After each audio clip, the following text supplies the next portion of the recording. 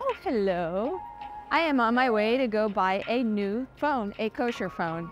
So if you want to know what a kosher phone is, and if you want to see me go shopping for an unusual artifact, then come with me.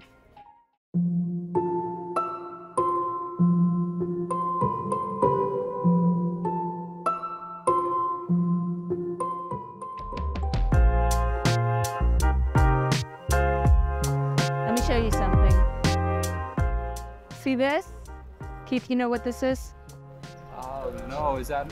Oh, that's the Hechsher. It's the Hechsher on the phone. So not only food can have a Hechsher, now technologies can have a Hechsher too. If they've been approved by a body of mashgichim, which are overseers, who have deemed it fit for use. There are two options. Last time I was here, there was only one. Oh, there are several options. There's talk only.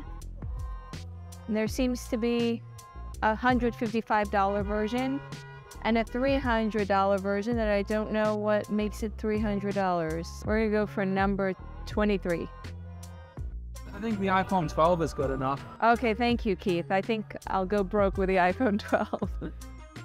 Please select the product. We're gonna go with 23. Authorizing. Thank you.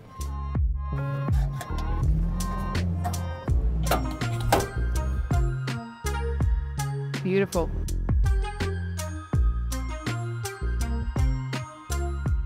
Okay, this is my new kosher phone. Let's take a look. Kosher phone, it says here on the box, talk restricted, no internet, no text, no camera. We have the instruction book. And we have the actual phone, which has a kosher symbol on the center. It says Anichoma, talk only. It comes with a SIM card, so you don't have to activate it. Charging accessories, battery, and back cover. So this kosher phone is not an ordinary flip phone. It is a modified flip phone. Some things have been changed in this phone to make it even more a phone.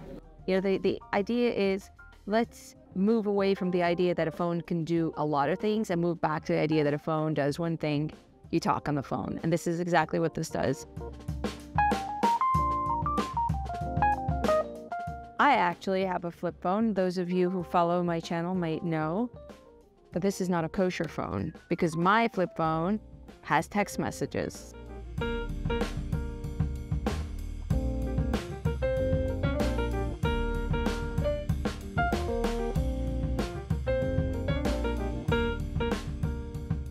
I have been following this community long enough that I remember when kosher phones started to become a thing, I was absolutely so floored that one man was selling a special modified flip phone from his home that I had a friend go and buy one for me. This was the very first kosher phone. It is tiny. Look at it. I guess this was during the era of, of smaller is better. And this phone, similarly, is kosher. It has a kosher symbol, but it does maybe a little more. This phone has not been as professionally modified. There's still the uh, icon of the mailbox, but it says disabled. See, this is supposed to be the mailbox.